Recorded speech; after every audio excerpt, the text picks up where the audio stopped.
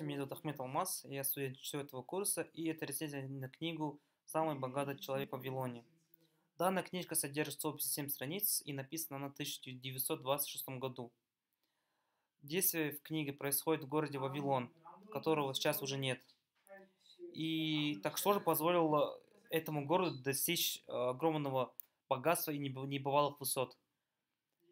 Жители города были не только грамотными торговцами, но и очень грамотными финансистами. Э, они первыми изобрели деньги и финанс... денежные расписки.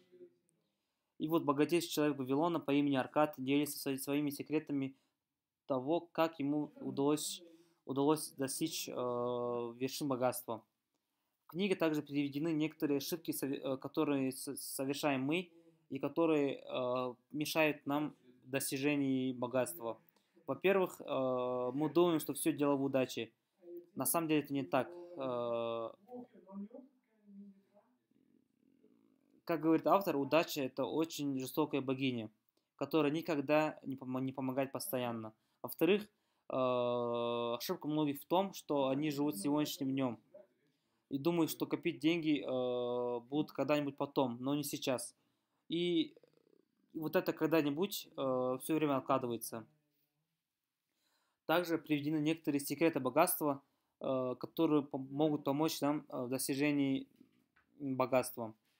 Во-первых, часть заработка принадлежит только нам, и, и мы обязаны сохранить э, минимум 10% дохода.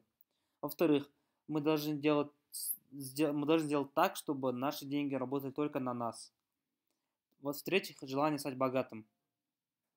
В принципе, все люди хотят быть богатыми, но кто-то хочет этого больше, чем остальные.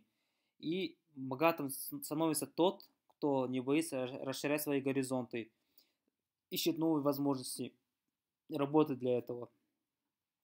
А, в заключение хочу сказать, что а, в книжке есть очень полезные мысли, но они часто а, повторяются. Видимо, да, не могу сказать, что книгу мне очень понравилось читать. Местами она была нудной и скучной. Однако книгу прочитать однозначно стоит – так как здесь э, написано очень много полезных мыслей, и они могут быть очень полезными для нас. Спасибо за внимание.